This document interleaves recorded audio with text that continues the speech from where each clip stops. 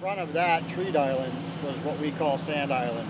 So we're about to take a tour of the uh, San Jacinto River dredging project, um, specifically the mouth bar work that's happening out in Lake Houston now. So the dredging process, there's a, a cutter suction dredge that's out in the lake right now. Um, the cutter suction dredge process, there's a, a cutter, it's digging the sand, two big pumps on the dredge that are pulling the sand up to a pipe.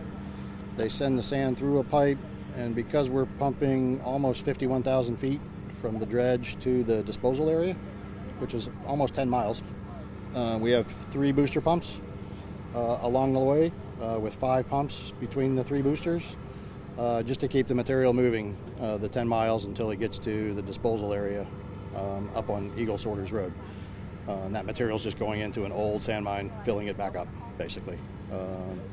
So that the dredge, there's there's an area that we've been told to dig on the mouth bar by the U.S. Army Corps of Engineers. Um, that's who our contract is with.